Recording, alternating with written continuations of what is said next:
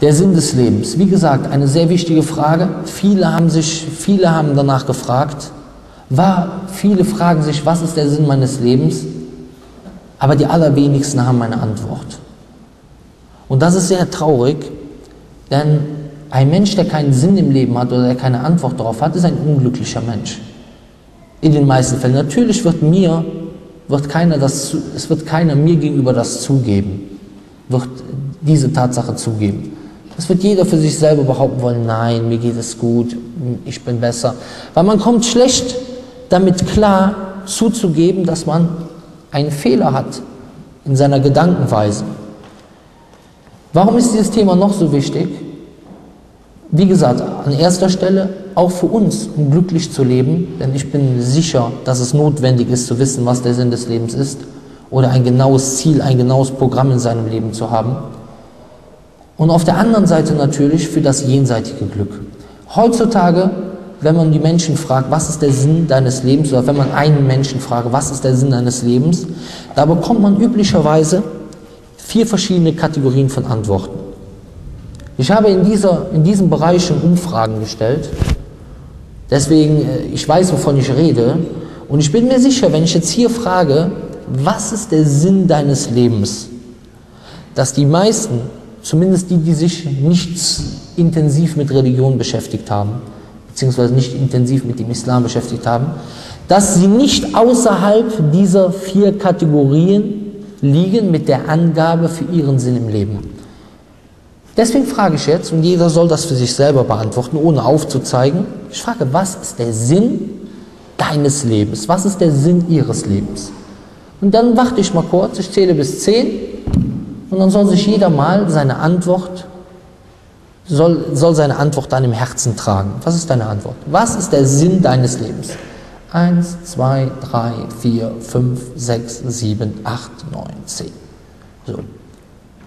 Und ich bin davon überzeugt, aus Erfahrung heraus, der Sinn, der jetzt im Herzen vorhanden ist, oder der Unsinn, oder je nachdem, ja, der wird nicht aus diesen vier Kategorien rausgehen. Der erste Sinn, den die Menschen angeben, oder die erste Antwort, die die Menschen angeben auf die Frage nach dem Sinn ihres Lebens, ist keine Ahnung. Und das ist vielleicht was die Antwort, die 95% der Menschen geben. Ich habe mal einen in Köln gefragt, was ist der Sinn deines Lebens? Hat er gesagt, das würde ich auch gerne wissen. Auf Kölsch. Das würde ich auch gerne wissen. Und das ist aber eine ehrliche Antwort. Alhamdulillah, diese Antwort ist eine ehrliche Antwort, weil viele andere, die geben irgendetwas an, damit sie nicht ohne Antwort dastehen. Weil man will ja nicht gerne zugeben, dass man keinen Sinn im Leben hat. Aber wie gesagt, 95% der Menschen sagen, keine Ahnung. Und natürlich, es ist kein Geheimnis für uns, dass jemand, der keinen Sinn im Leben hat, dass es ihm schwerfallen muss, ein glückliches Leben zu führen. Weil, egal was du tust, wenn du in die Schule gehst, wenn du irgendetwas machst, es hat alles seinen Sinn. Wenn du ein Haus baust, du baust das Haus, um einzuziehen, oder? Wenn du ihn fragst, warum baust du dein Haus, er wird nicht sagen, das weiß ich auch nicht. Hab keine Ahnung. Das gibt es nicht.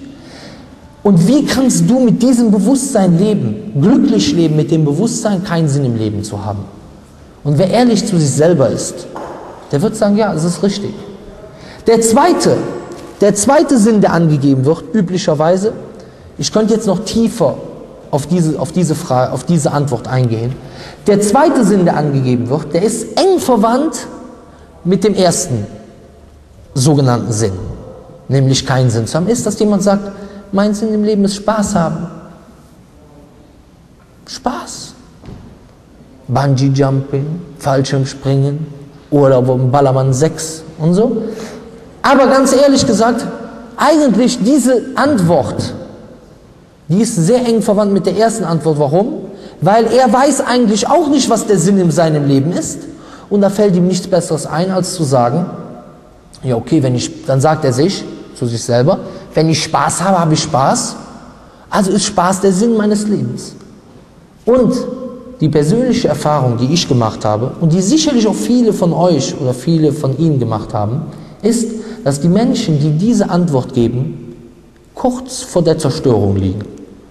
Man braucht sich nur, weil jemand, der sagt, Spaß ist der Sinn meines Lebens, was wird er sagen? Erstmal jeden Moment in seinem Leben, wo er keinen Spaß hat, der war umsonst, den wird er bereuen. dann hört man den Spruch, den Slogan, ich darf ja nichts vom Leben verpassen. Samstags die Disco, sonntags die andere Disco, montags fahren wir nach Holland in die Disco, das ist zumindest bei uns im Rheinland der Fall. Ja? Und dann muss ich mir den Spaß erzwingen. Wenn der Spaß nicht kommt, muss ich mir den Spaß erzwingen. Ich gehe in die Disco, also ich nicht, aber so als Beispiel, ja. Und ich fühle mich gerade nicht so gut, ich habe den Kick gerade nicht. Wie kriege ich den Kick denn jetzt? Ich, ich will gerne äh, ein, er will gerne ein Mädchen kennenlernen, aber er kriegt gerade die Zähne nicht auseinander. Ja. Dann muss er sich etwa einen trinken, damit er locker wird, damit die Muskeln locker werden. Alhamdulillah. Dann nimmt er sich vielleicht ein Pillchen, damit er gut drauf ist. Dann fängt er an zu tanzen auf die Techno-Musik. Ja? Und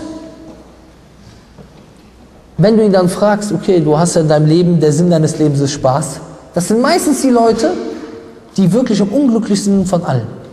Weil in seinem Bewusstsein, wie ich eben schon erwähnt habe, ist es immer so, dass er sich sagt, ich habe irgendetwas verpasst. Und das ist eine Weisheit auch vom diesseitigen Leben, denn du kannst das diesseitige Leben niemals 100% genießen. Du wirst irgendwo in Urlaub fahren, es wird irgendein Makel geben. Nach zwei Wochen in dem Urlaub denkst du, ach, ich will gerne wieder nach Hause. Und freust dich, wenn du zu Hause ankommst. Mit deiner Frau, du wirst irgendwann mal Streit mit ihr haben. So ist der Lauf der Dinge. Das heißt, du wirst das Leben automatisch, wenn Spaß der Sinn deines Lebens ist, wirst du das Leben minderwertig ansehen. Weil das ist der Sinn deines Lebens. Spaß. Wie? Warum hast du das verpasst?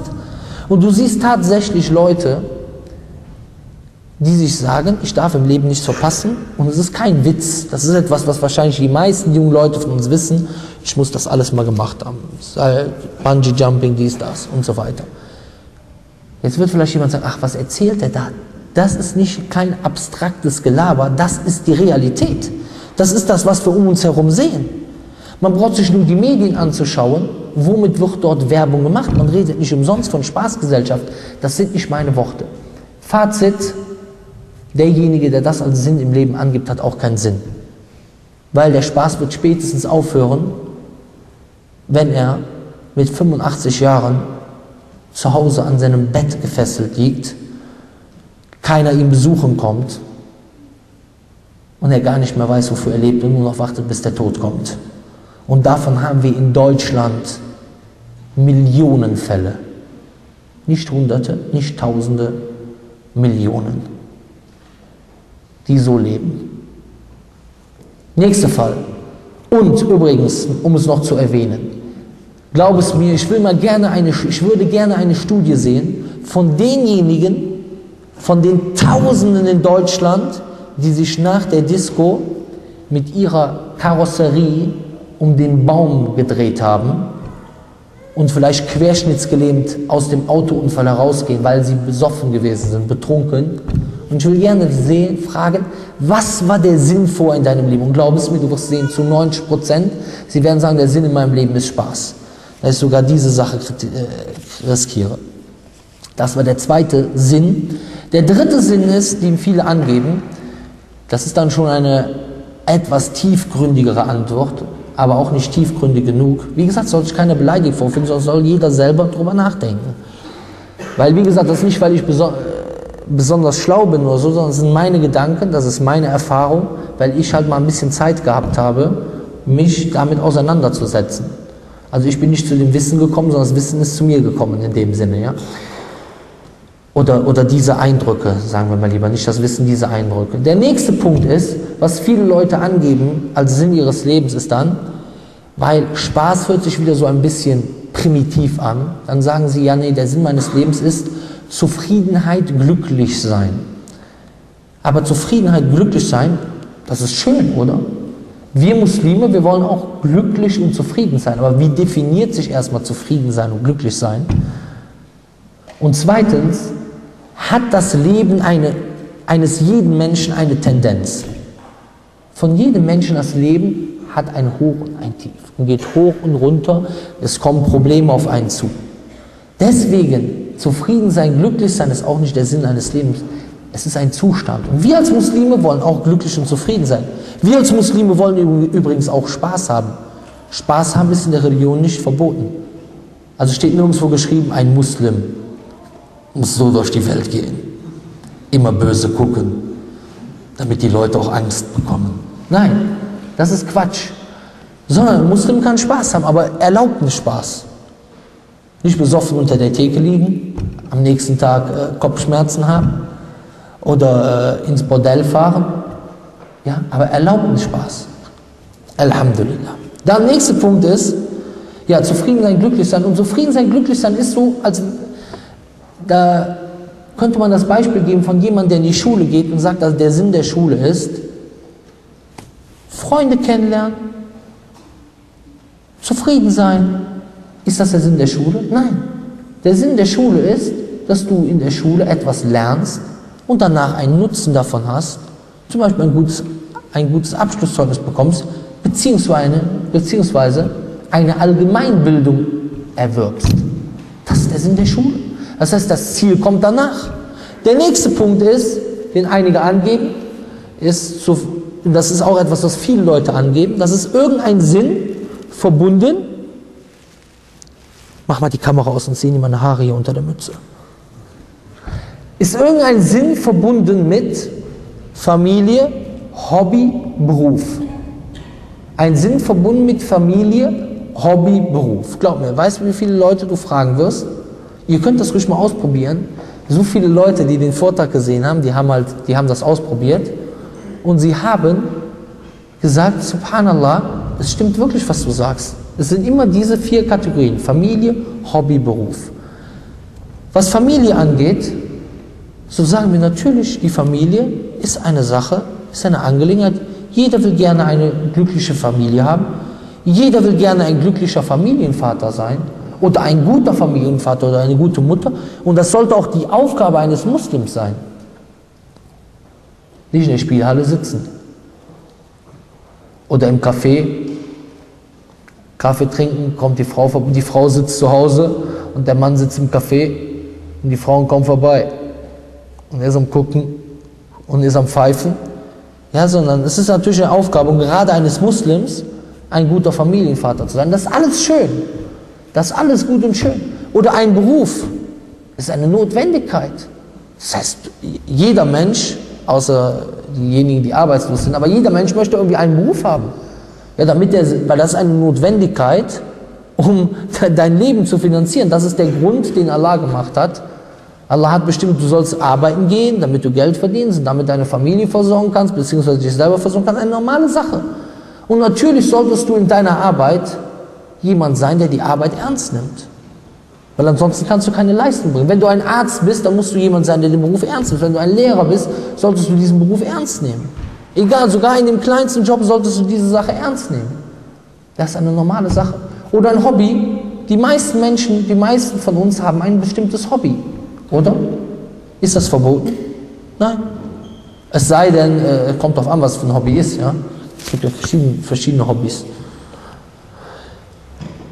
Zum Beispiel, es gibt zum Beispiel Leute, die haben das Hobby, die gehen dann in, die gehen dann in den Wald, wenn die Frösche da sind und die blasen die Frösche auf, bis die sterben. Ne? Solche Leute gibt es. Sowas wäre zum Beispiel ein Hobby, was verboten ist im Islam. Und das ist alles schön, aber dies ist wieder genauso, und da kann man wieder das Beispiel geben von der Schule. Das ist so, als wenn du jemanden hast, du fragst ihn, was ist der Sinn der Schule? Er sagt, der Sinn der Schule ist Biologie. Und der andere sagt, der Sinn der Schule ist Deutsch. Und der nächste sagt, der Sinn der Schule ist Mathematik. Genauso wie jemand, du fragst ihn, was ist der Sinn deines Lebens? Ja, mein, ich will ein guter Doc, ich will ein guter Arzt sein, ich will ein guter Architekt sein und so weiter. Genau dasselbe. Aber diese Dinge, wie in der Schule, dein Fach, dein Lieblingsfach, das Fach, in dem du gut bist, das ist kein, nicht der Sinn der Schule. Das ist etwas, wo Gott dir ein besonderes Talent gegeben hat. Was sollst du mit diesem Talent machen? Du sollst dieses Talent nutzen, weil Gott hat dir dieses Talent nicht umsonst gegeben. Aber es ist nicht der Sinn, sondern der Sinn ist, dass du aus der Schule rausgehst mit einem Abschlusszeugnis, beziehungsweise mit einer allgemeinen Bildung. Und so ist es auch im Leben, also werden wir nachher drauf kommen. Das heißt, dieser Punkt, Familie, Hobby, Beruf, ist kein Sinn, sondern ist nur ein bestimmtes Talent, eine bestimmte Aufgabe, etwas, was dir Spaß macht. Und wir als Muslime, damit ich es nachher nicht vergesse, wir können Spaß haben bei unserem Sinn im Leben, zu dem wir gleich kommen. wir können gleichzeitig und werden glücklich und zufrieden sein. Und gleichzeitig können wir einen Beruf haben, den wir ernst nehmen, ein Hobby haben, das wir lieben und eine Familie haben, um die wir uns richtig kümmern sollen, wo wir ein guter Familienvater bzw. eine gute Mutter sein sollen. Kein Problem. Aber das ist alles kein Sinn. Das sind, wie gesagt, alles Zustände. Ich hoffe, dass das rübergekommen ist. Jetzt fragt man sich als allererstes, Subhanallah, gepriesen sei Gott, Du fragst so viele Menschen nach dem Sinn im Leben und keiner kann dir eine Antwort geben. Woran liegt das? Wenn ich irgendjemanden frage nach dem Sinn, warum baust du dein Haus? Jeder wird sagen, ja, ich baue das Haus, um später einzuziehen oder um es zu vermieten. Jeder kann dir eine Antwort geben. Wenn ich frage, warum isst du? Dann sagt er ja, um Nährstoffe aufzunehmen. Das ist eine Notwendigkeit, um zu überleben. Wir müssen Kohlenhydrate, Eiweiße, Fette, Vitamine, Mineralien zu uns nehmen. Jeder wird das sagen. Wenn ich jemand frage, warum schläfst du? Warum schläfst Was ist der Sinn des Schlafens? Außer vielleicht der Langschläfer. Ich würde sagen, ich gut träume. Aber der Sinn des Schlafens, jeder normale Mensch wird sagen, um sich auszuruhen, eine Notwendigkeit. Ein körperliches Bedürfnis. Ein körperliches Bedürfnis, was man erfüllen muss. So kannst, warum atmest du? Damit ich Sauerstoff aufnehme. So kannst du hunderte Fragen stellen und kannst dir hunderte verschiedene Menschen mit verschiedenen Sprachen an verschiedenen Orten der Welt stellen und jeder wird dir dieselbe Antwort geben mit der einen oder anderen Abweichung. Aber die geben dir alle dieselbe Antwort. Warum, wenn ich nach dem Sinn im Leben frage, hat keiner einen wirklichen Sinn? Oder was heißt keiner? Oder die meisten können dir keinen wirklichen Sinn angeben. Und, oder jeder gibt irgendeine andere Sache an. Woran liegt das? Weil der Sinn im Leben ist ja auch eine Notwendigkeit für einen Menschen. Und hier gibt es zwei Gründe, die dazu führen, dass der Mensch keinen Sinn findet in seinem Leben. Der erste Grund ist, und der ist vor allen Dingen heute präsent, in der heutigen Zeit, ist, dass der Glaube an Gott verloren gegangen ist. Und der zweite Grund ist, dass die göttliche Rechtleitung nicht wahrgenommen wird. Denn derjenige, der uns erschaffen hat, der wird natürlich logischerweise auch die Antwort darauf haben, was der Sinn in unserem Leben ist. Und an dieser Stelle fangen wir als allererstes mal an, darüber zu reden, über die Zweifel, die erweckt werden bezüglich der Existenz Gottes, Existenz eines Schöpfergottes. Allah, der allmächtige Gott, macht uns im Koran an vielen Stellen darauf aufmerksam, in vielen Versen des Korans darauf aufmerksam, auf die Schöpfung des Himmels, der Erden, auf die Schöpfung der Bäume, auf die Schöpfung von uns selber, auf die Schöpfung, auf die Meere, auf die Berge, auf die Sonne, auf die Sterne. Er macht uns auf diese Schöpfung aufmerksam und weist darauf hin, an vielen Versen im Koran, dass diese Dinge nicht aus einem Zufall entstanden sein können. Warum? Wenn wir die Welt genau betrachten, schau dir das Universum an. Schau dir an, wie perfekt aufeinander abgestimmt beispielsweise der Abstand zwischen Erde und Sonne ist.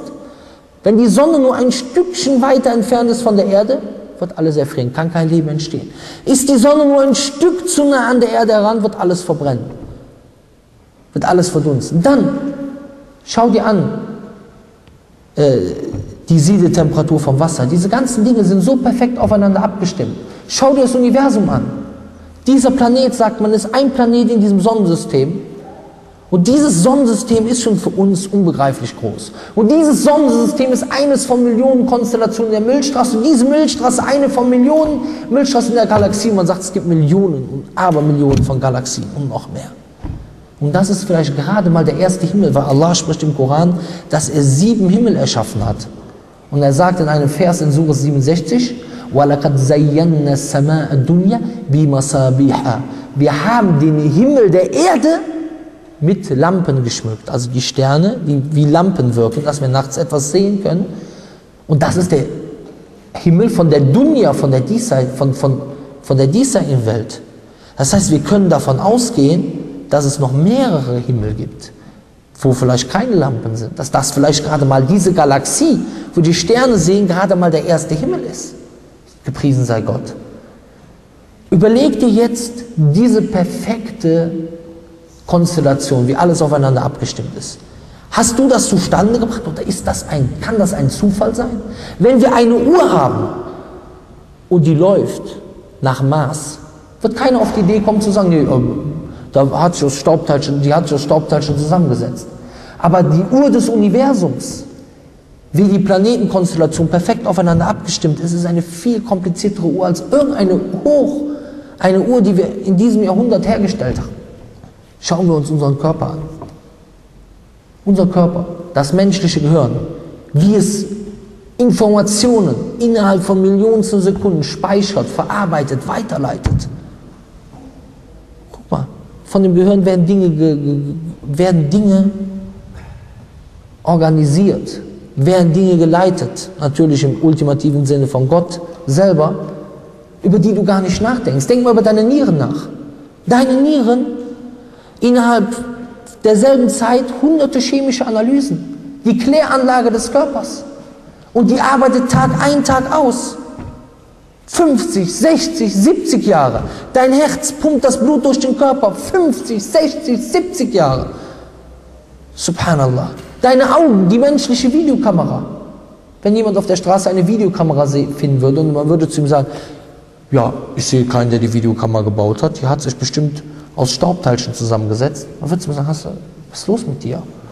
Was ist mit unserer Videokamera? Die Augen. Ich schaue jetzt auf das Mikrofon. Eine Zehntelsekunde später schaue ich hinten an die Wand. Die Augen stellen sich darauf ein, stellen sich auf Farben ein. Diese Farben, diese Bilder werden im Gehirn verarbeitet, sodass ich Bilder sehe. Wie kompliziert ist das? Wo kommt das her? Wer hat das gemacht? Was steckt dahinter? Wenn wir nicht mal akzeptieren können, dass so ein billiges Mikrofon hier, ich möchte nicht den Hersteller des Mikrofons beleidigen, nicht ohne einen Schöpfer entstanden sein kann. Wie können wir akzeptieren, dass wir selber entstanden sind durch einen Zufall?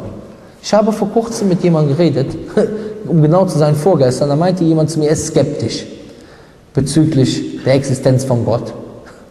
Und er glaubt, das Leben ist durch einen Zufall entstanden.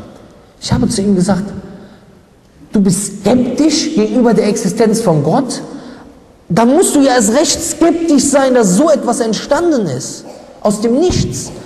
Wenn ich zehn Murmeln in eine Tüte tue und rühre diese und schüttel diese Tüte und sage zu dir, komm, hol Murmel Nummer 1 raus. Also ich habe die Murmeln nummeriert. 1, 2, 3, 4, 5, 6, 7, 8, 9, 10. Hol Murmel Nummer 1 raus. Und tatsächlich, er greift rein und er hat Murmel Nummer 1. Jetzt hol Murmel Nummer 2 und er schaut nicht rein, greift rein, holt Murmel Nummer 2 und dann Nummer 3 und Nummer 4 und Nummer 5 bis 10. Wisst ihr, was jetzt, wisst ihr, was die Wahrscheinlichkeit dafür ist? Dass er die alle 10 in einer Reihenfolge rausholt? 26 Millionen zu 1. Kannst du dir das vorstellen? Was ist jetzt die Wahrscheinlichkeit, und das sollte man sich, dessen sollte man sich bewusst sein, für das zufällige Entstehen einer Boeing 747? Was ist die Wahrscheinlichkeit? Wissenschaftler sagen, Wissenschaftler ist nicht von mir, sagen, eine einzige menschliche Zelle, denn wenn, viele von uns haben bestimmt Genetik auch in der Schule gehabt und haben auch gelernt, wie eine Zelle aufgebaut ist, wie Chromosomen, Chromosomen aufgebaut sind und so weiter, ja? Zellbiologie und so weiter. Und man, man weiß, die besteht aus Mitochondrien. Eine Zelle ist eigentlich aufgebaut wie eine Fabrikanlage. Welche Stoffe gehen rein, welche Stoffe gehen raus und so weiter. Unheimlich kompliziert. Die Wissenschaftler sagen, das zufällige Entstehen einer einzigen menschlichen Zelle ist so, als wenn über einen Schrottplatz ein Wirbelwind weht. Und dann bauen sich die Schrottteile willkürlich, zufällig zu einer startklaren Boeing 747 zusammen. Ist das rational oder ist das irrational? Das ist total irrational. Das heißt, und das ist das, was Gott im Koran sagt, dass Gott uns in diesen Zeichen, im Wechsel, im Wechsel von Tag und Nacht, in der Schöpfung der Himmel und der Erde, in uns selber Zeichen gegeben hat für seine Existenz. Ganz deutlich. Wer wirklich zu sich ehrlich ist. Und natürlich, wir haben es nicht nur mit Tatsachen zu tun wie diesen, wir haben es auch noch mit Zeugenaussagen zu tun. Also wenn man einen Mord sehen würde, da ist eine Leiche zerstückelt, ja, dann wird man sagen, oder oh, Den muss jemand getötet haben. Ne? Das Messer steckt noch in der, in der, im, im Herz drin, den muss jemand getötet haben, oder? So, jetzt hast du einen Zeugen, der sagt, ich habe diesen Mann gesehen, der ist dorthin gegangen, vor einem Gericht in Deutschland.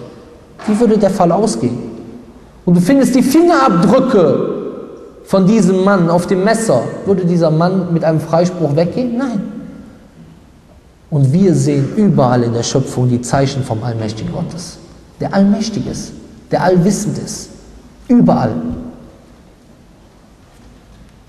Jetzt, was haben wir noch dazu? Wir haben auch noch, es auch noch mit Zeugen zu tun. Nicht mit einem, nicht mit zwei, mit über 100.000 Zeugen. Mit den Propheten.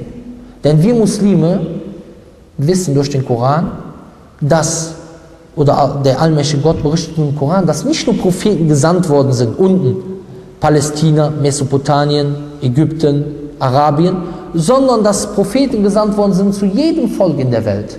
Mit einer Botschaft, dient Gott allein und vermeidet die Anbetung der anderen. Diese Hunderttausenden, diese 100, über 100.000 Propheten, waren Zeugen dafür, weil sie eine Offenbarung, direkte Offenbarung bekommen haben. Die rechtschaffenen Menschen, die es heute noch gibt, sind Zeugen dafür. Jetzt fragen wir uns, okay, was haben die Leute davon gehabt? Zu predigen von der Existenz Gottes. Was hat Moses davon gehabt? Dass der Pharao ihn jagt und er vor dem Meer steht und er das Meer teilt, aber sie hätten ihn fast bekommen und vernichtet. Was hat Jesus davon gehabt?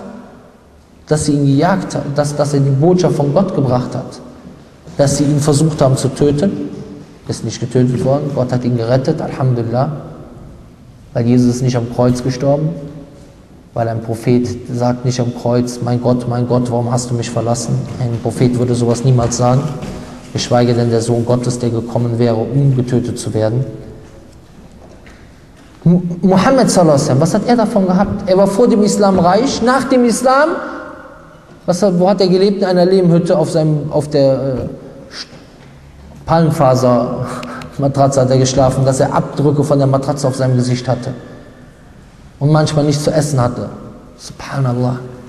Das sind auch noch die Zeugen. Das heißt, die Sache ist ganz eindeutig für die Existenz Gottes. Und da gibt es gar keinen Zweifel.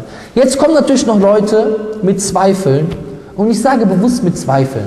Denn es ist kein Mensch da, es gibt keinen Menschen, der sagen kann, es gibt keinen Gott, äh, äh ich, ich weiß 100%, dass es keinen Gott gibt. Gibt es keinen. Es gibt nur Leute, die sagen können, ich zweifle daran. Und da gibt es meistens drei Gründe. Drei Zweifel. Erstens, ich habe ihn noch nicht gesehen. Was ist unsere Antwort darauf? Ganz einfach, unsere Antwort ist, ich habe ihn auch noch nicht gesehen. Alhamdulillah. Warum? Weil Allah sagt doch im Koran ganz deutlich, dass wir ihn im Diesseits nicht sehen können. La tudrikul absar, wa huwa yudrikul absar. Ihn nehmen die Blicke nicht wahr, aber er nimmt die Blicke wahr. Subhanallah. Also, dann ist schon mal klar, das ist kein Widerspruch zu der Nichtexistenz Gott. Das spricht nicht, ist kein Beweis für die Nichtexistenz Gottes. Und übrigens haben wir es mit tausenden, Millionen Sachen zu tun, von denen wir gehört haben, an die wir glauben und die wir nie gesehen haben. Hast du schon mal Strom gesehen? Nee, du siehst das Licht. Aber den Strom siehst du nicht, weil Strom ist unsichtbar für dich. Du kannst es wahrnehmen durch das Licht, was du siehst, durch das, was der Strom erzeugt. Aber genauso kannst du auch Gott wahrnehmen, indem du siehst, was der Schöpfer erschaffen hat. Viele Dinge, Liebe, du siehst die Auswirkung von Liebe, aber es ist etwas, was man nicht sehen kann. Intelligenz, du siehst die Auswirkung von Intelligenz, aber selber Intelligenz kannst du nicht sehen. Und viele Sachen, geschichtliche Sachen, historische Sachen, von denen du gehört hast, die du glaubst, die du nicht gesehen hast. Oder hat jemand Cäsar, Julius Cäsar gesehen? Man hat von ihm gehört, man sieht die Zeichen von ihm, man sieht in den Schriften, es wird geschrieben, ihn gab es, aber warum war es kein Märchen gewesen? Aber hier sehen wir die Schrift, hier sehen wir das Ergebnis vom Schöpfer, die Schöpfung. Tausende Beispiele. Also das war Punkt 1. Punkt 2 ist, jemand sagt, wenn es Gott gibt, warum gibt es dann so viele Ungerechtigkeiten in der Welt? Und dies ist erstmal kein Beweis, dass es keinen Gott gibt. Dies ist nur ein Beweis dafür, dass du die Wege von Gott nicht erkannt hast. Weil du hast immer nur gehört, der liebe Gott, der liebe Gott, der liebe Gott, der liebe Gott, der liebe Gott. Und dann denkst du, warum passiert ein, warum kommt es zu einem Erdbeben? Warum kommt es zu einer Flut? Warum haben Menschen Krankheiten? Warum gibt es Raub, Mord, Diebstahl? Warum? Das ist eine Frage, die man sich stellt. Das ist nicht, ich werde dieses Thema heute nicht intensiv angreifen oder durchgehen, nur einige Punkte dazu erwähnen. Das kann natürlich dann niemand verstehen. Es hat einmal eine Theologin gesagt, eine Theologin, nach dem Tsunami-Unglück, da hat sie gesagt, wenn ich Gott begegnen werde am jüngsten Tag, dann, wär, dann soll er sich warm anziehen. Subhanallah. Da siehst du, dass manche Leute einfach gar nicht wissen, mit wem sie es zu tun haben. Die Sache ist ganz einfach. Gott hat das Gute und das Schlechte erschaffen. Aber das Schlechte wird ihm nicht zugeschrieben.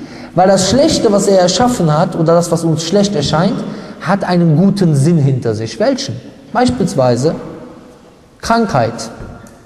Was ist der positive Effekt von Krankheit? Beispielsweise, dass du Antikörper entwickelst. Beispielsweise, dass du kennenlernst, dass du die Gnade kennenlernst, dass du gesund bist. Hättest du die Krankheit, hättest du die Gesundheit erkannt, wenn du niemals krank gewesen wärst? Was ist mit Bestrafungen, die passiert sind, auch in der damaligen Zeit, wo Gott beispielsweise das Volk von Lut zerstört hat. Dadurch siehst du, dass du nach den Prinzipien von Gott leben musst. Ist eine Lehre für dich.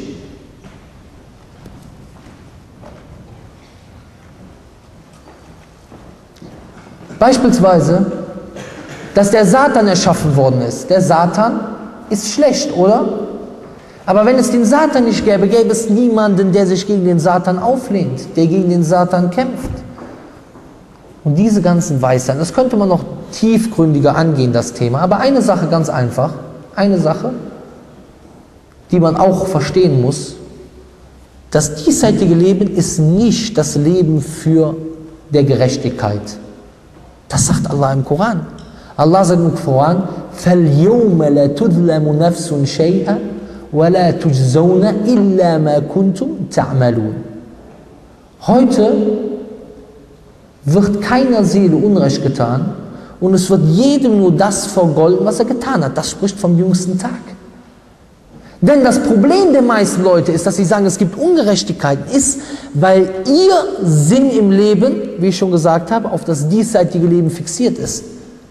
Und daher sagen sie, warte mal, mein Sinn im Leben ist sparsam, zufrieden sein, dies, das. Warum hat Gott mich nicht erschaffen, dass ich ewig lebe, dass ich nie krank bin, dass ich einfach zufrieden bin? Dies. Aber das ist nicht das Schema von Gott. Denn Gott sagt im Koran, الذي خلق الموت والحياة ليبلوكم أيكم أحسن عملا. Der Leben und Tod erschaffen hat, um euch auf die Probe zu stellen, wer die besten Taten macht. Ist nicht meine Erfindung, das ist die Erfindung das ist das, was der allmächtige Gott bestimmt hat. Und wenn du dieses Prinzip verstanden hast, und wenn du verstanden hast, dass derjenige, der in diesseits am unglücklichsten gelebt hat, wenn er auch nur eine Zehntelsekunde ins Paradies eingeht, dass Gott ihn für alles entschädigen kann.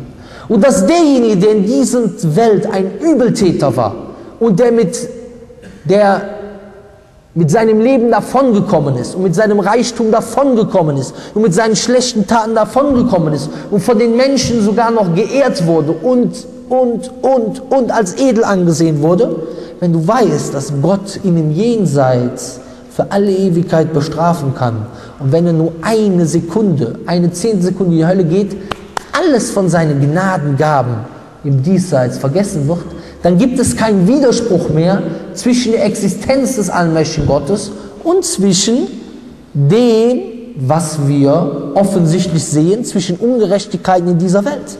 Das ist die Antwort. Andere Leute sagen nein. Gott wollte nicht, dass Unglück passiert. Deswegen sind so viele Leute vom Glauben abgefallen. Gott wollte nicht, dass es Krankheiten gibt. Dann frage ich, Gott wollte nicht, dass du etwas, dass etwas passiert. Dann frage ich dich, wer wollte das denn? Dann sagt er, der Satan wollte das.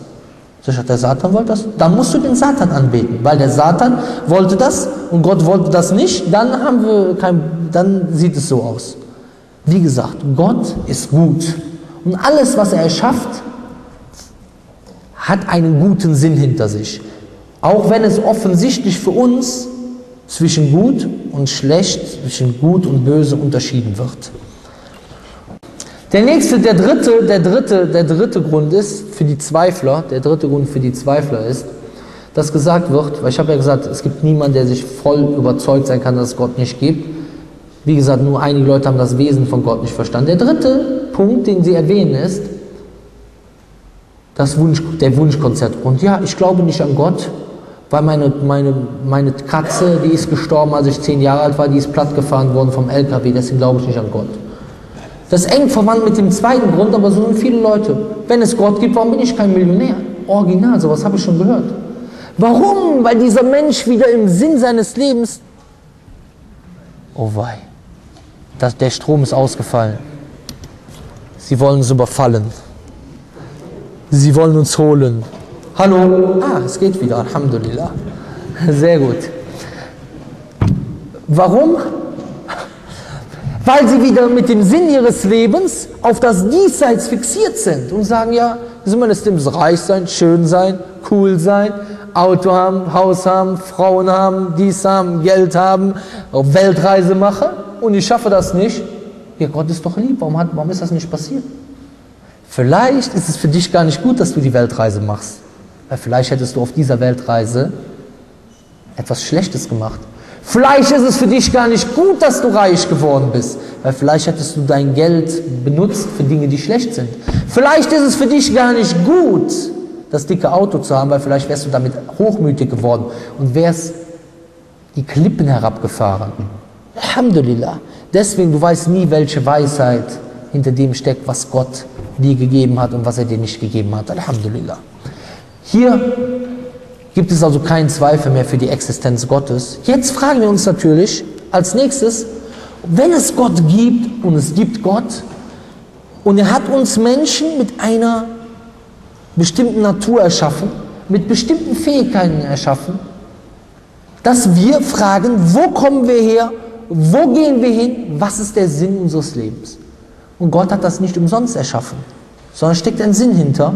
Und dass wir diese, dieses Bewusstsein haben, nach diesen Fragen zu fragen, zeigt, dass es für diese Fragen eine Antwort geben muss.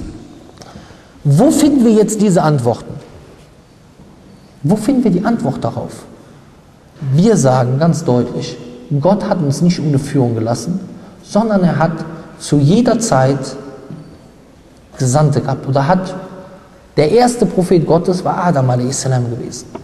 Derjenige, der vor dem Schirk, das erste Mal, der Schirk, die Vielgötterei aufgetreten ist, gewarnt hat, war der erste war Noah, Nuh a.s. Und so kamen die Propheten zu verschiedenen Zeiten an verschiedenen Orten. Und das ist auch unsere Antwort, warum es so viele verschiedene Religionen gibt. Denn wir sagen, dass wir können das natürlich nicht bei allen Religionen bezeugen, aber wir sagen, dass die meisten Religionen einen wahren Kern haben. Dass vielleicht ursprünglich ein Prophet dort gewesen ist, der verkündet hat, diene Gott alleine, vermeide die Anbetung der falschen Götter, so wie Gott sagt in Sure 16, Vers 36. وَلَقَدْ بَعَثْنَا فِي كُلِّ أُمَّةٍ رَسُولًا أَنْ يَعْبُدُوا اللَّهَ وَاجْتَنِبُوا الطَّاغُوتَ Wir haben in jeder Gemeinschaft Gesandte geweckt, dass sie den Menschen lehren, dient dem einen wahren Gott allein und vermeidet die Anbetung der falschen Götter dient dem Schöpfer und nicht der Schöpfung. Aber was haben die Menschen daraus gemacht? Sie haben daraus die Religion verändert. Du findest beispielsweise monotheistische Strukturen, beispielsweise in Religionen der Afrikaner, die heutzutage, oder was heißt Afrika, gibt es sowieso viele Christen und Juden und Muslime auch, aber du findest bei den, sagen wir mal, bei den Stammesreligionen im Dschungel und so, du findest dort auch monotheistische Strukturen dass es dort den Glauben gibt, wir dienen zwar Götzen, aber wir glauben, da gibt es einen Obergott. Und dieses übrigens, wo viele Menschen heutzutage, die sich monotheistisch nennen, auch in die Falle gefallen sind. Sie beten, sagen, Gott hat uns erschaffen, aber wir haben einen Gott, der ist unser Schöpfer, einen Gott, der ist unser Retter, ein Gott und so weiter ist die göttliche Kraft.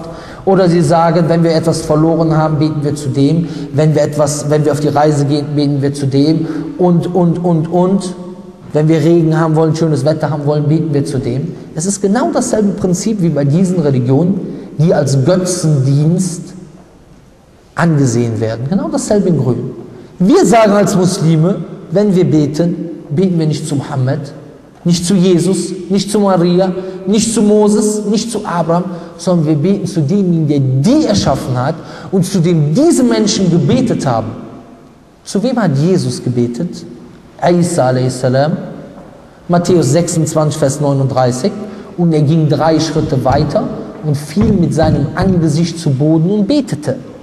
Betet er zu sich selber? Er betet zu dem allmächtigen Gott, zu seinem Schöpfer. Und wir, Muslime, beten nur zu dem Schöpfer von Jesus a.s. Diese Strukturen, um darauf zurückzukommen, du findest zum Beispiel in einigen afrikanischen Religionen findest du Strukturen, die davon sprechen, es gibt einen Gott, dem nichts gleich und so weiter und so fort.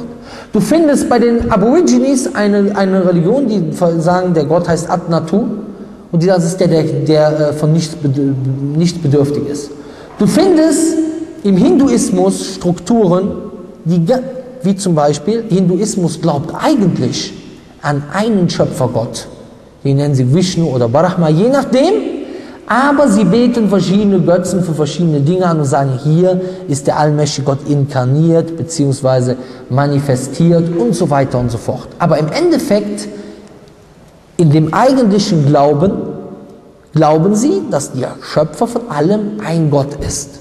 Ist dort vorhanden. Das lässt für uns die Vermutung zu, dass wir vermuten, dass hier auch die Schriften wie Bhagavad Gita und so weiter, wird im Koran nicht erwähnt, Vedas, dass das auch einen göttlichen Ursprung haben kann, der später verändert worden ist von Menschen. Wir bezeugen dies nicht, weil es nicht im Koran steht, aber wir sagen, es ist möglich.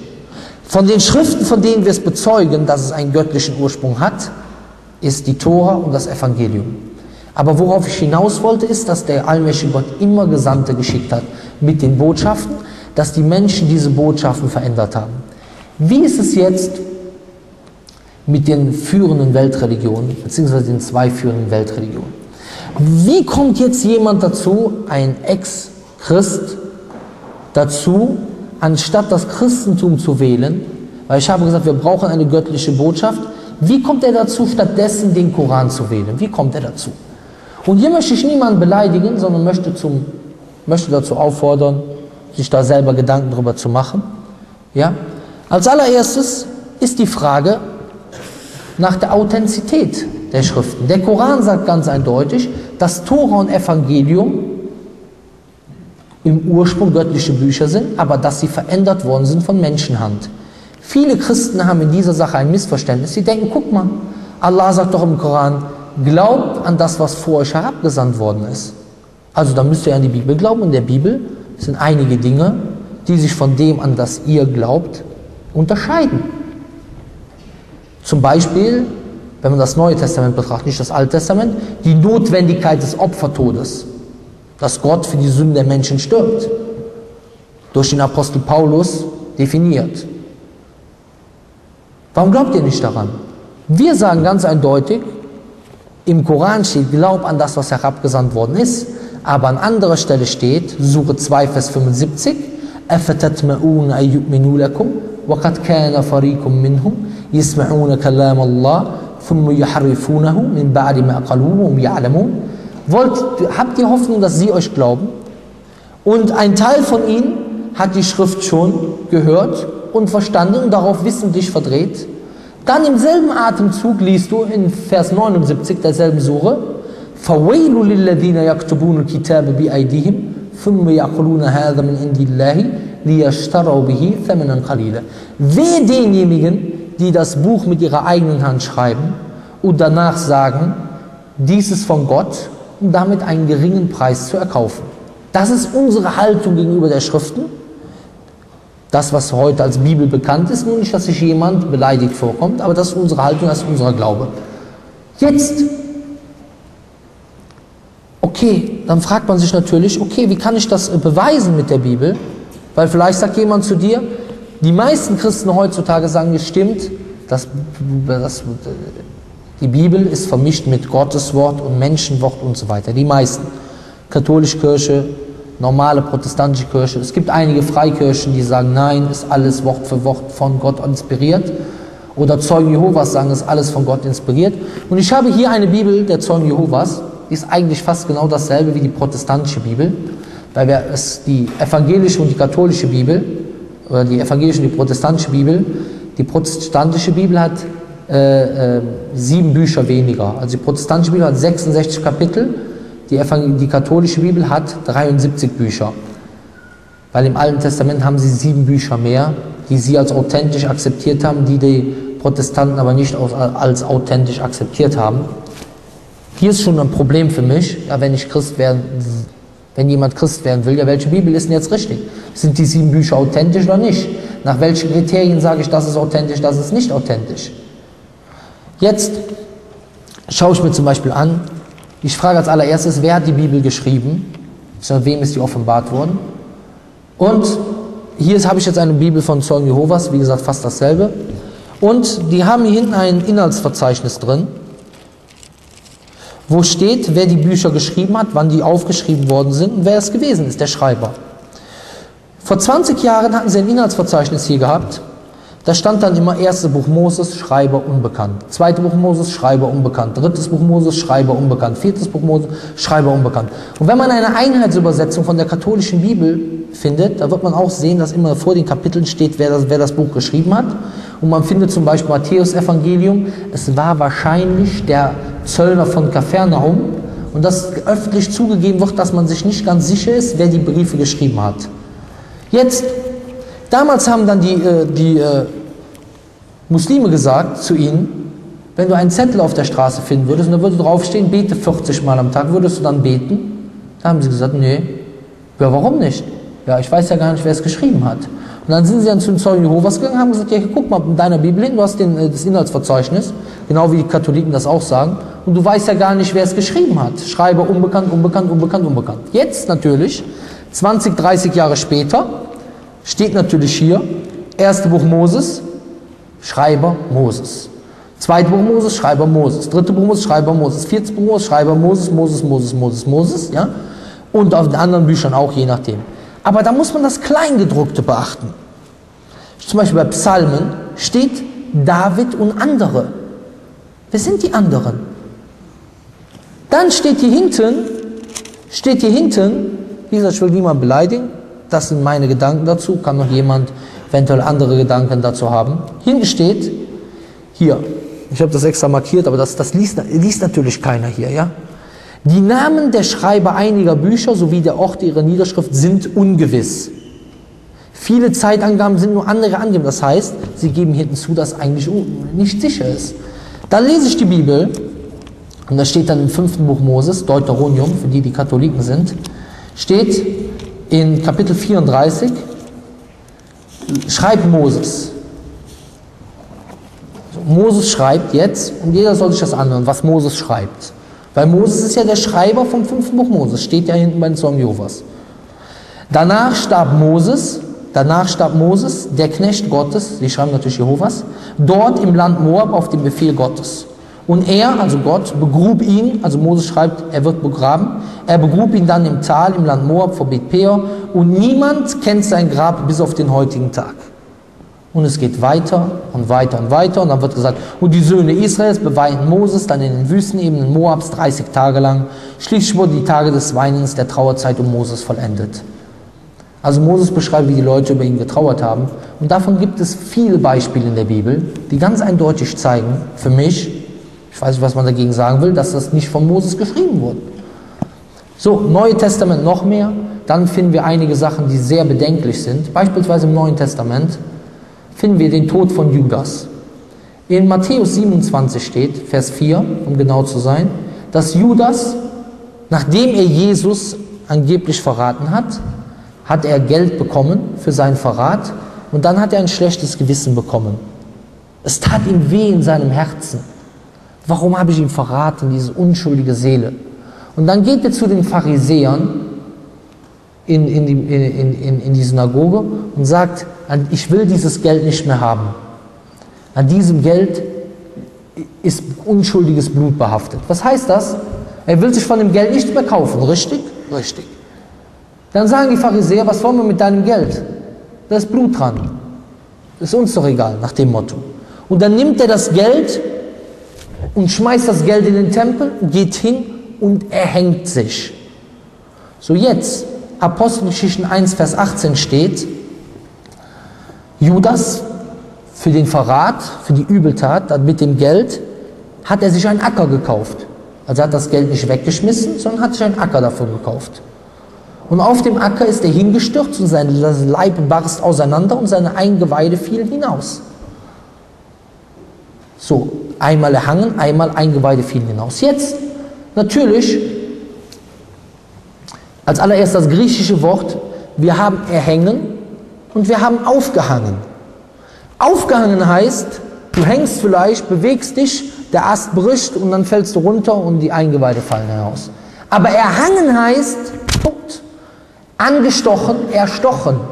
Rein sprachlich, und das griechische Wort heißt erhangen, der ist beim Hängen gestorben. Danach ist der Körper tot.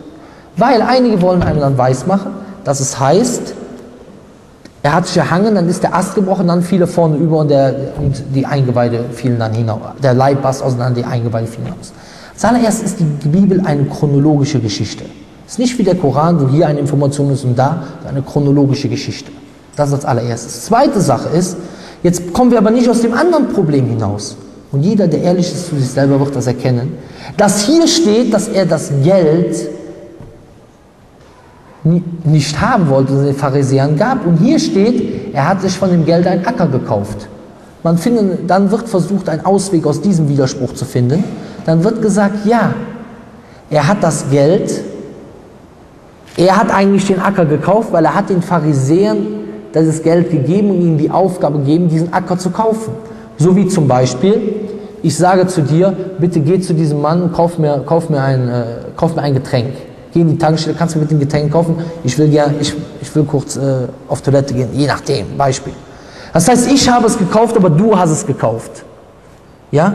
Das heißt, du hast das Geld übergeben, du hast es gekauft. Ich kann sagen, du hast es gekauft. Ich kann sagen, ich habe es gekauft, weil du hast es in meinem Auftrag gekauft. Aber wer ganz ehrlich ist zu sich selber, sieht, dass dies absolut nicht zutrifft auf diese Geschichte.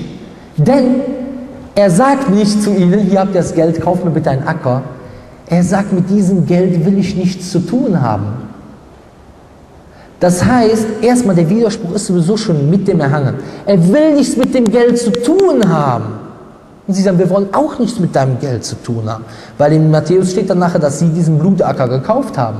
Er sagt, ich will nichts damit zu tun haben. Das heißt, er will damit nichts mehr kaufen. Dann hat diese, diese, diese Sache gar keinen Sinn. Und er nimmt das Geld und schmeißt es in den Tempel. Und das zeigt, dass dies ein ganz eindeutiger Widerspruch ist von drei Seiten. Erstens, erhangen, hingefallen. Zweite Sache, Geldübergabe und wer hat den Acker gekauft? Drei Punkte. Punkt.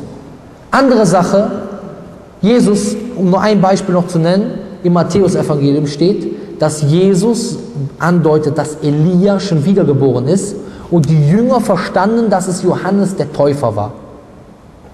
Dann steht später, 1. Johannes steht, Johannes wird gefragt, Johannes der Täufer, bist du der Christus? Christus heißt der Gesalbte, auf Griechisch Christus, El-Messiah, der Messias?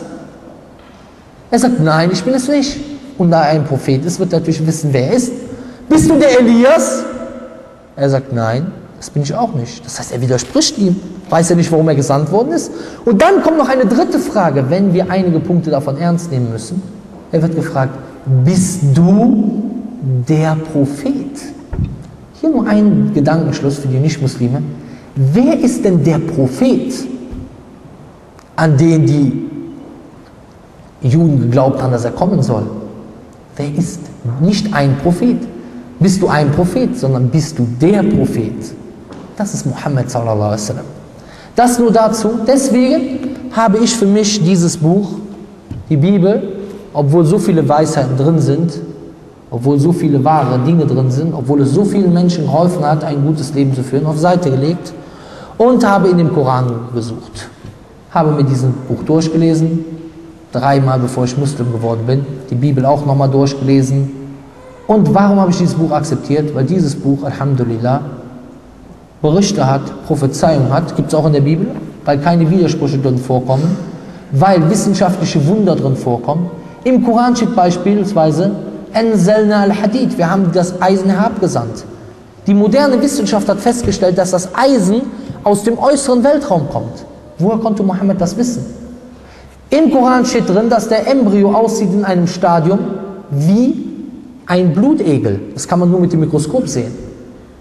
Woher konnte Mohammed wissen? Hat er ein Mikroskop gehabt? Steht aus, dass er danach aussieht wie ein Mudrada. Das ist wie ein Fleischstück, auf das man getaut hat. Woher konnte Mohammed das wissen? Und viele, viele andere Sachen. Viele, viele andere Punkte. Heute ist nicht das Thema Wunder im Koran, sondern allgemein keine Widersprüche. Und dieses Buch gibt ein, eine Antwort darauf, warum gibt es viele Religionen und gibt dir die Antwort auf den Sinn des Lebens. Wenn wir darauf zurückgehen, dass wir sagen, Gott hat dies alles erschaffen, hat dich erschaffen, hat die Umwelt erschaffen, hat das Leben erschaffen, hat die, die, die Sterne erschaffen, hat alles erschaffen, hat dich erschaffen, deine Augen, deine Ohren, deine Nieren, deine Liebe, deine Frau, alles erschaffen. Dann musst du dich fragen, ist dieser Gott es nicht wert, dass du ihn anbetest? Ist dieser Gott es nicht wert, dass du ihn verehrst, dass du für ihn lebst? Und wenn du das tust, er wird dich niemals im Stich lassen. Alhamdulillah. Und wenn ich dir beispielsweise 100 Euro geben würde, würdest du zumindest Danke sagen. Was ist mit den ganzen Gnadengaben, die du hast? Die erkennst du nicht. Du sagst, ich glaube nicht an Gott, weil ein armes Kind in Afrika, das hat kein nichts zu essen. Aber was ist mit dir? Das arme Kind in Afrika, das glaubt an Gott, aber du nicht. Du hast diese Gnadengaben bekommen, subhanallah, das ist ein Widerspruch. Und das wird im Koran genau ausgedrückt. Der Koran sagt ganz deutlich, in Surah 41, Vers 56, ich habe die Menschen und die Djinn nur erschaffen, damit sie mir dienen. Wir haben gesagt, drei Fragen. Wo komme ich her? Wo gehe ich hin? Was ist der Sinn meines Lebens? Koran beantwortet dies in zwei Sätzen. Zwei. Inna lillahi wa inna ilayhi raji'un. Wir kommen von Gott und zu ihm kehren wir zurück. Also ihr kommt von Gott und zu, also äh, dass wir von Gott kommen und zu ihm zurück, zurückkehren. Wo kommst du her? Wo gehst du hin? Was gibt es dort? Paradies und Hölle. Dann wird gesagt, warum wirst du erschaffen? Ich habe die Djinn, eine bestimmte Art, von Wesen, Geisterwesen, die wir nicht unmittelbar wahrnehmen, und die Menschen nur erschaffen, damit sie mir dienen. Jetzt wird natürlich sofort jeder die Frage stellen, wie kann es sein, Gott erschafft uns, damit wir ihm dienen? Hat Gott das Bedürfnis, dass wir ihm dienen? Ist eine logische Schlussfolgerung, eine Frage, die man stellt. Die wird auch sofort im Koran auch beantwortet. Als allererstes müssen wir das Wesen von Gott verstehen, einigermaßen verstehen. Wir können es nicht vollkommen vollkommen äh, umfassen. Aber wir müssen wissen, dass Gott nicht irgendjemand ist wie du oder ich. Gott ist anders als alles, was wir uns vorstellen. Gott sagt im Koran, sprich er, Gott ist ein einziger. Allahu Samad, der ewig Unabhängige, von dem alles abhängig ist. Lem yelid wa lem yulid. Er hat nicht gezeugt und er wurde nicht gezeugt. Wir kommen alle von irgendetwas, aber er hat keinen Anfang und kein Ende. Und nichts ist ihm gleich. Das heißt, wenn du etwas willst, wenn du etwas zu trinken kaufst, dann kaufst du das, um zu trinken, weil du Durst hast. Wenn du, und wenn du es nicht bekommst, dann hast du einen Mangel, eine Mangelerscheinung. Wenn du, ein, dein Nachbar ein dickes Auto hat, trifft nicht auf jeden zu, und du willst dann auch ein dickes Auto haben, weil du neidisch bist auf deinen Nachbarn, dann hast du ein Bedürfnis, was du dir nicht erfüllen kannst. Wenn du etwas essen willst oder wenn du eine Frau haben willst oder einen Mann, je nachdem, ja, und du kriegst das nicht, dann hast du einen Mangel, eine Mangelerscheinung. Das ist ein Mangel für dich, ein Verlust für dich. Aber das bist du. Das bin ich. Aber das ist nicht Gott. Denn Gott ist allmächtig. Er hat dich erschaffen, um ihm zu dienen. Braucht er deinen Gottesdienst? Absolut nicht.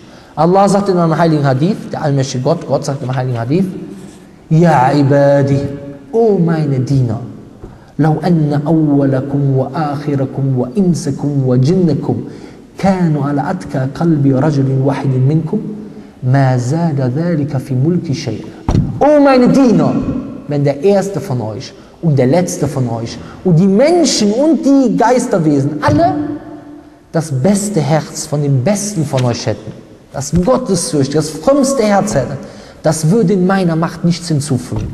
Dann sagt er, ja ibadi, o meine Diener, lau anna awwalakum wa akhirakum wa insakum wa jinnakum كانوا على أفجر كلب رجل واحد واحد منكم ما نقص ذلك من ملك شيئا Oh meine Diener, wenn der Erste von euch und der Letzte von euch und die Menschen und die Djinn, die Geisterwesen, alle das sittenloseste Herz von dem sittenlosesten von euch hätten, das würde von meiner Macht, von meiner Herrschaft nichts wegnehmen. Das heißt, Gott braucht dich nicht. Du brauchst ihn. Und das Problem ist nur, dass viele von uns zu arrogant sind. Diener hört sich für dich schlecht an, aber der Islam befreit dich. Denn du bist jetzt Diener von so vielen Faktoren. Du bist Diener von dem, Diener von dem, Diener von deinem Nachbarn. Was denkt der über dich? Was ist mit dem? Was denken diese Leute über dich? Aber dann, wenn du Islam annimmst, bist du von diesen ganzen Diener, von dieser, von dieser, von, dieser Sklavenschaft, von diesem Sklaventum gegenüber der Schöpfung befreit. Und du bist nur noch Diener des allmächtigen Gottes. Und wenn du Diener des allmächtigen Gottes bist, was ist der erste Nutzen, den du bekommen wirst? Der erste Nutzen ist, dass du ein glückliches Leben führen wirst. Subhanallah, in welchen Ländern, viele reden über die islamische Länder, das soll sich keiner angegriffen fühlen, in welchen Ländern ist die Selbstmordrate am niedrigsten? Trotz Selbstmordanschläge. Die islamischen Länder, das sind nicht meine Worte, das sind Statistiken. Es wird immer über die islamische Frau geredet wie sie sich fühlt. Wer redet darüber, wie sich die islamische Frau fühlt? Alice Schwarzer, Angela Merkel, Madonna, Britney Spears, Mariah Carey? Frag die islamische Frau, wie sich die islamische Frau fühlt. Frag nicht mich, frag meine Frau. Alhamdulillah, weil Glücklichkeit, glücklich sein ist nicht etwas, was abhängig ist von der Länge der Haare, was abhängig ist von der Figur, weil du hast viele Frauen, die schön sind und viele Frauen, die dünn sind und sich in die Bulimie essen, äh, was heißt essen, in Bulimie hineinkommen, wegen ihrem Schönheitswahn. Du hast viele Frauen, die vielleicht schön sind, aber irgendwann Selbstmord gemacht haben. Du hast viele Leute, die vielleicht Geld haben und irgendwann einen Selbstmord gemacht haben, sich mit dem oder total unglücklich sind. Schau dir die meisten Stars an. Du sagst dir als Mensch, ich will reich sein, ich will glücklich sein, ich will berühmt sein, ich will Ruhm haben und so weiter. Schau dir an, wie viele von den Stars, subhanallah, ich habe es einmal in der Zeitung gesehen, drogenabhängig sind. David Hasselhoff. Alles drum und dran. Schau dir Whitney Houston an. Möge Allah sie heilen. Möge Allah sie recht leiten. Schau dir Britney Spears an. Schau dir Mariah Carey an. Mariah Carey Selbstmordversuch. Britney Spears, keine Ahnung wie viele Selbstmordversuche. Subhanallah. Das sind doch die Leute, zu denen man als normaler Mensch aufschaut. Wo man sagt, boah, guck mal, Erfolg, schön, reich. Aber schau dir das Ergebnis an. Warum? Allah sagt im Koran, das sind nicht meine Worte. فَمَنْ أَعْرَضَ عَنْ ذِكْرِي فَإِنَّ لَهُ مَعِيشَةً ضَنْكَ وَنَحْشُرُهُ يَوْمَ الْقِيَامَةِ أَعْمَى Wer sich von unserer Rechtleitung abwandt, abwendet, dem werden wir ein grausames, scheußliches Leben bescheren. Und am Yom al-Qiyamah werden wir ihn blind auferwecken. Deswegen, die, das Glücklichsein ist etwas, was vom Herzen abhängig ist. Und ich weiß, vielleicht die Nichtmuslime werden diese Erfahrung nicht gemacht haben. Aber ich behaupte dies, auch wenn es einigen Leuten nicht gefallen wird, wer Islam richtig verstanden hat. Ich rede nicht von dem türkischen oder marokkanischen oder bosnischen Mädchen oder Jungen, der Islam nicht verstanden hat, der so gar nicht weiß, worum es im Islam geht, der genau dieselbe Antwort gibt auf den Sinn seines Lebens wie sein nicht-muslimischer Schulkamerad oder Arbeitskollege, sondern ich rede von demjenigen, der die Religion bewusst praktiziert und sich bewusst ist, wofür er diese Religion praktiziert. Frag ihn, wie er sich fühlt. Frag ihn, diese Tausenden, Zehntausenden Jugendlichen, die letztes Jahr, vor zwei Jahren, vor drei Jahren noch die coolsten Aufreißer in der Disco gewesen sind, frag sie, wie sie sich heute fühlen, wo sie Islam praktizieren. Frag mich! Frag mich, wie ich vor sechs Jahren war, als ich zum Islam gekommen bin, wie ich mich jetzt fühle. Alhamdulillah. Vor sechs Jahren, ich sage dir eins, wahrscheinlich viele von denen ich will, das soll keine Angeberei sein, weil ich, da braucht ja gar keiner neidisch drauf zu sein. Nur man muss ja einfach auch mit Tatsachen mal kommen. Ja? Vor sechs Jahren, ja, bevor ich Islam angenommen habe, war ich Profiboxer gewesen im Sauerland-Boxstall. Mein Trainer war Uli Wegner gewesen, vielleicht kennen ihn einige. Der Trainer von Markus Bayer und von Sven Ottke, die Boxweltmeister. Ja? Ich war mit diesen beiden Leuten in einem Boxstall gewesen, habe gutes Geld verdient, bin mit einem dicken Cabriolet mit der dicksten Mucke durch die Stadt gefahren. Und wenn ich am Wochenende irgendwo rausgegangen bin, in die Disco oder so, bin ich in jede Disco umsonst reingekommen, weil mich jeder kannte. Viele Jugendliche werden sagen, boah, ist doch cool, oder? Respekt. Auf diese Art und Weise.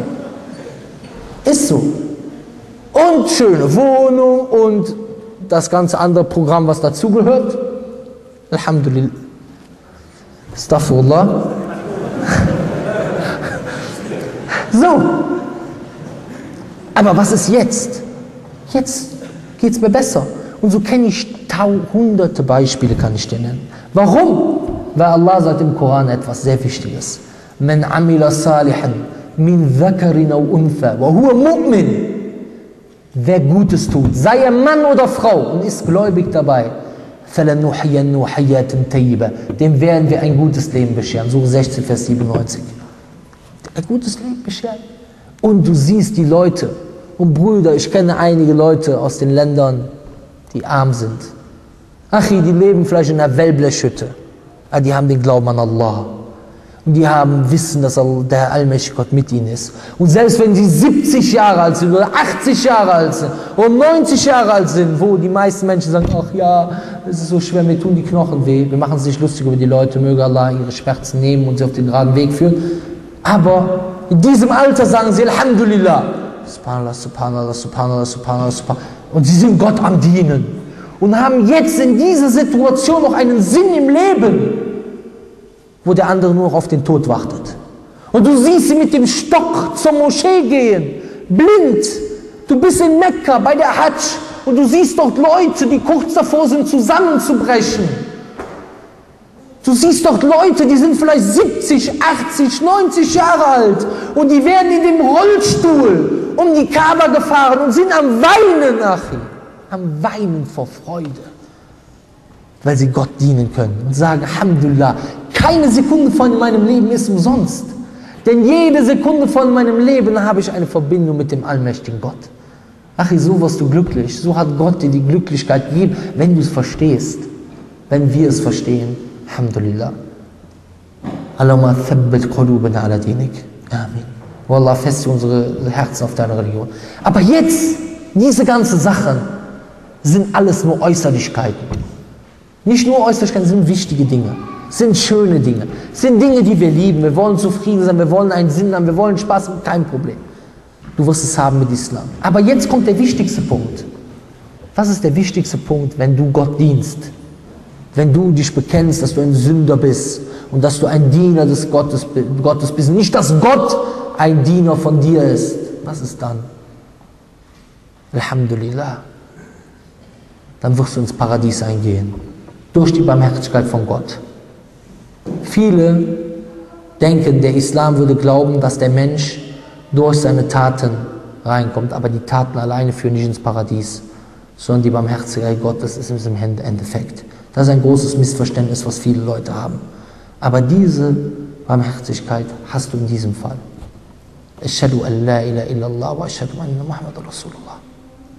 Was hindert einen daran? Und was ist der Preis dafür?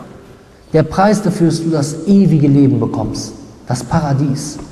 Viele von uns streben nach den Unmöglichsten, nach verschiedenen Dingen. Streben nach Dingen, der eine strebt nach der Frau, die andere strebt nach dem Mann, der andere strebt nach dem Geld, nach dem Vermögen, nach dem dies, das, das, das. Aber Garantie, hundertprozentige Garantie, du wirst alles verlieren. Und du wirst in das Grab gelegt werden. Das Loch wird dort sein Du wirst in das Grab gelebt werden und dann ist es vorbei. Und was ist dann? Und wenn du diesen Weg wählst, Wallahi, ich schwöre beim allmächtigen Gott, der allmächtige Gott wird dein Grab breit machen. Und du wirst die schönste Welt erleben. Und du wirst am jüngsten Tag ins Paradies gehen. Und diese Welt ist das, was du dir hier gewünscht hast. Du hast dir hier gewünscht, nicht alt zu werden, nicht krank zu werden, mit deiner Frau zufrieden zu sein, mit deinem Mann zufrieden zu sein. Die schönsten Dinge hast du dir gewünscht und was wirst du dort bekommen? ما لا عين رأت ولا أذن سمعت ولا خطر على قلب بشر ولا خطر على قلب بشر Dort hat Gott für dich vorbereitet, was kein Auge gesehen hat, noch ein Ohr gehört hat, noch was im Herzenswunsch eines Menschen vorstellbar war. Und das ist das, wie man das erreicht. Wie ist der Weg? Der Weg ist ganz einfach.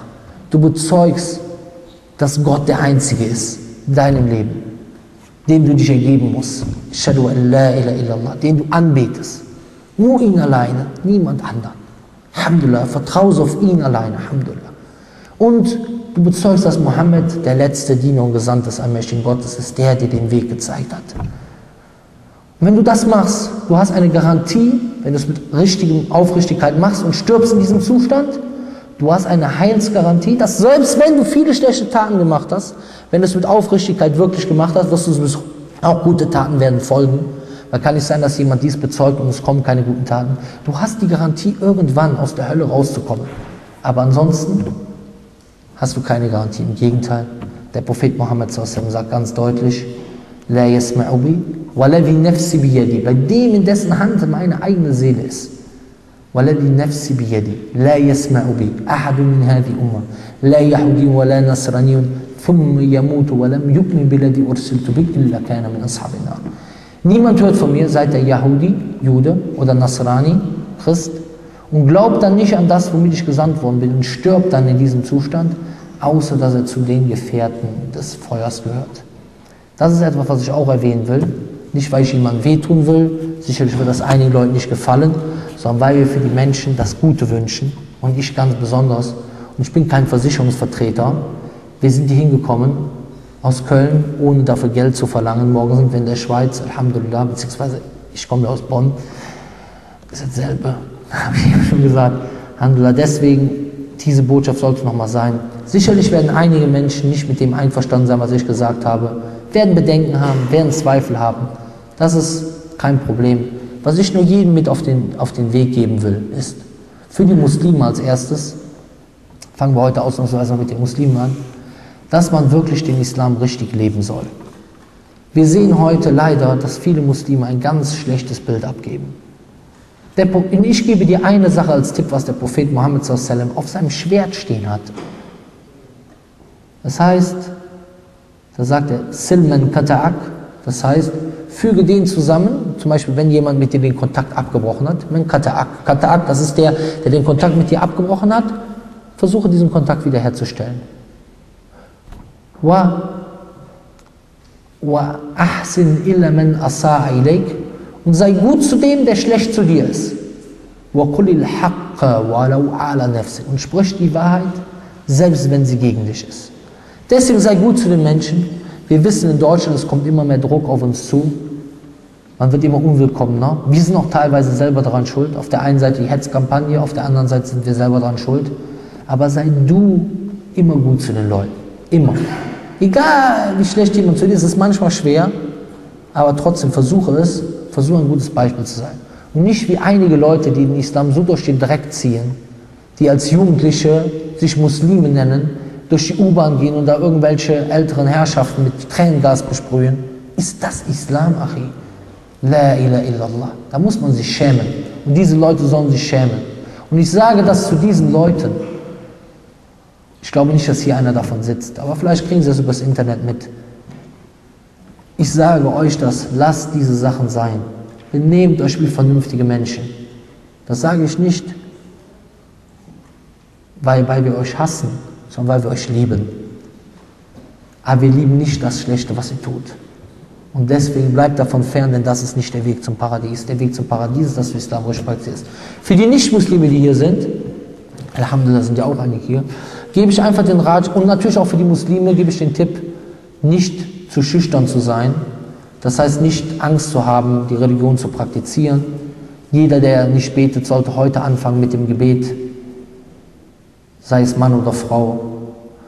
und anfangen, die Religion richtig zu praktizieren. Für die Nicht-Muslime der Tipp, einfach, sicherlich wird es einige Bedenken geben. Wir werden gleich Fragen, kann man auf Zettel schreiben, da werden wir noch einiges beantworten. Wir müssen morgen noch, ich muss mich noch ein bisschen vorbereiten auf morgen, die Zeit ist momentan bei mir sehr begrenzt.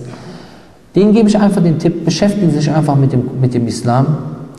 Zum Beispiel mit, oh, kaufen Sie den Koran oder wir haben auch einige Bücher draußen, die sehr nützlich sind, vor allem das Buch über den Eingottglauben im Islam, dass man sich einfach mal damit beschäftigt und die wichtigste Adresse, fragen Sie den allmächtigen Gott auf diese Art und Weise, dass Sie die Hände so heben, wie Jeremia. In, der, in der Bibel gemacht hat. Fragen Sie ihn, allmächtiger Gott, zeig mir den richtigen Weg. Denn er wird, der allmächtige Gott wird Sie nicht in den Stich lassen. Oder fallen Sie auf das Gesicht mit dem Boden so, mit dem Boden, äh, mit dem Gesicht auf den Boden, so wie der Prophet Isa a.s. Jesus in der Bibel gemacht hat.